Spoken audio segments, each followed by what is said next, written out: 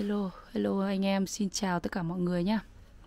Đang cầm uh, trên tay để giới thiệu tới mọi người một sản phẩm đó chính là cái uh, van báo áp suất dầu của Mitsubishi Tông 2009 đến 2011 à, ờ, Đây là hàng xịn được uh, công ty Mitsubishi Nhật Bản sản xuất.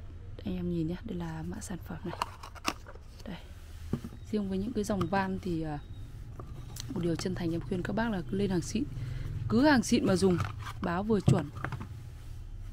Đấy và khi mà chúng ta đã bắt bệnh được thì chúng ta cứ lấy hàng xịn.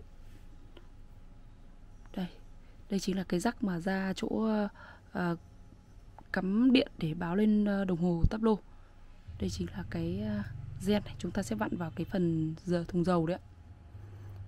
Cảm ơn mọi người đã cùng xem video của em nhé anh em quan tâm cần tư vấn hỗ trợ về sản phẩm thì hãy liên hệ với em theo số 0769086333.